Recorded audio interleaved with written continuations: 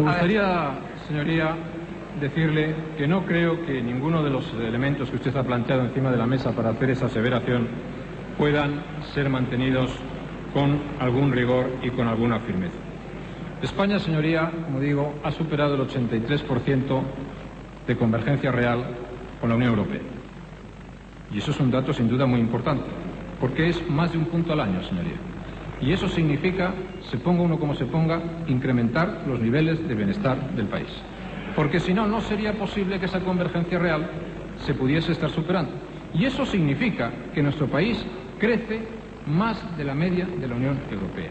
Y eso significa, señoría, que este año 2001, a pesar de tantos pronósticos agoreros, España va a seguir creciendo sustancialmente por encima de la media europea. Y eso también significa, señoría, que en este último trimestre, que en este último trimestre, en este primer trimestre del año, la economía española tiene unos datos de crecimiento y de vitalidad y de dinamismo mucho más elevados que los países centrales de la Unión Europea y que la media de la Unión Europea.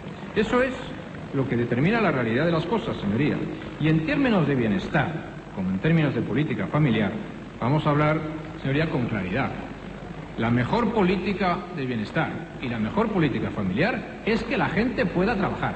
Y en España hay dos millones y medio de personas que antes no trabajaban y ahora trabajan.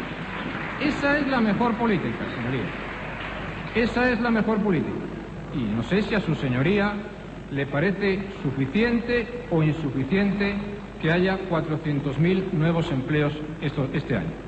A nosotros, nos, en esta legislatura, a nosotros nos parece que es un ritmo importante de creación de empleo.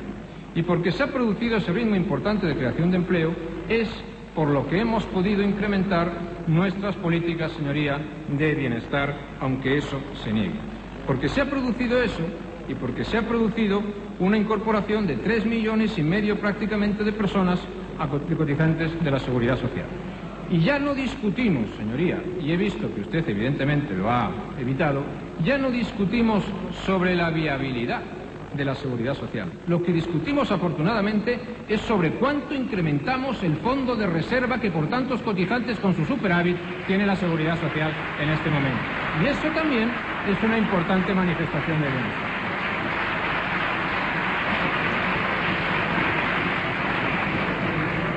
Manifestación de bienestar, por lo tanto, es eso, manifestación, por lo tanto, es que haya más empleo, manifestación también de bienestar, por lo tanto, es que existan unas cuentas equilibradas que nos permitan una economía en crecimiento, una economía que invierte en el exterior y, naturalmente, unos mayores niveles de prosperidad para los ciudadanos.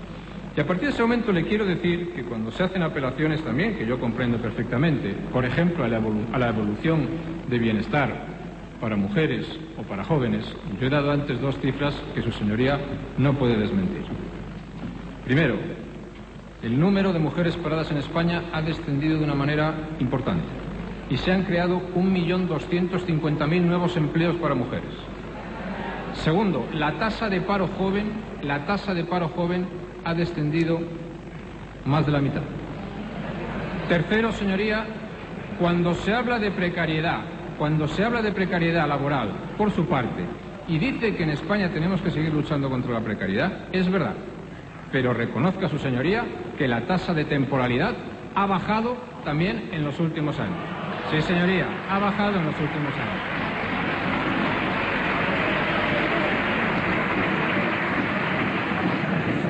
Y afortunadamente ha aumentado el número de contratos estables, lo cual es muy importante. Ya ha aumentado el número de contratos estables, señoría, primero por la reforma de 1997 y luego por la reforma que hemos realizado este año 2001. Y por cierto, podría decir su señoría con qué parte de la reforma no está de acuerdo. ¿No está de acuerdo con la extensión de los contratos estables para jóvenes de 16 años? ¿No está de acuerdo con que se penalice los contratos temporales? ¿No está de acuerdo con que haya unas ayudas específicas para las mujeres en aquellas profesiones en las que tienen una falta de representación? O lo que es lo mismo decir que prácticamente todos los contratos de mujeres en nuestro país tengan y reciban un estímulo y una subvención y una ayuda para que haya más mujeres trabajando y también eso sirva a la conciliación familiar.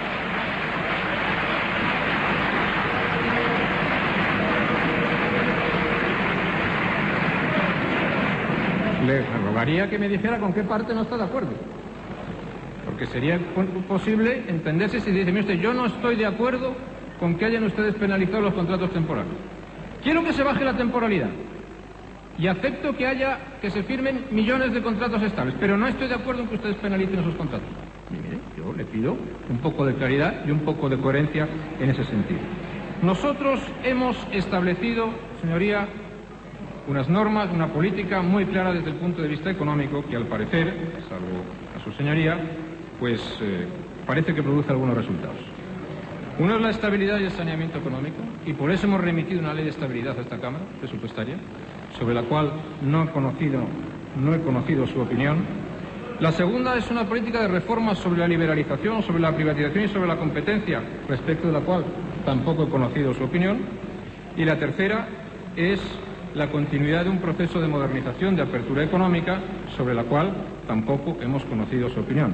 Por cierto, que para no conocer opiniones me ha sorprendido de que todo el, el cúmulo de asuntos que su señoría ha citado, en todos su señoría reclama más gasto.